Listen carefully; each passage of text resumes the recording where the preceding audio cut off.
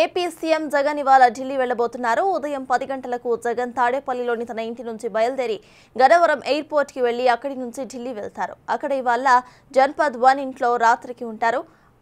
ఆరున ఉదయం తొమ్మిది గంటల నలభై ఐదు నిమిషాలకు అమిత్ షాతో జరిగే సదస్సులో పాల్గొంటారు.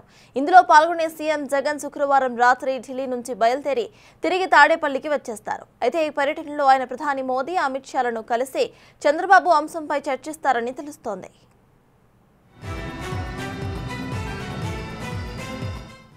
AP skill development scheme scam కేసును సిబిఐ వంటి కేంద్ర దర్యాప్తు సంస్థలకు అప్పగించాలనే డిమాండ్లు వినిపిస్తున్నాయి.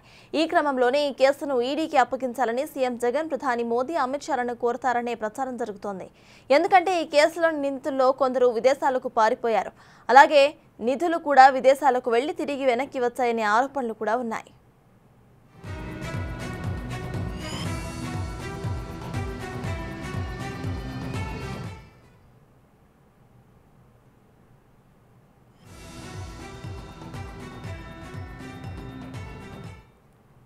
మరోవైపు ఏపీలో ముందస్తు ఎన్నికలకు వెళ్తారని చర్చ నడుస్తోంది. దీనిపై కూడా ప్రధాని హోంమంత్రితో సీఎం చర్చిస్తారని ప్రచారం జరుగుతోంది.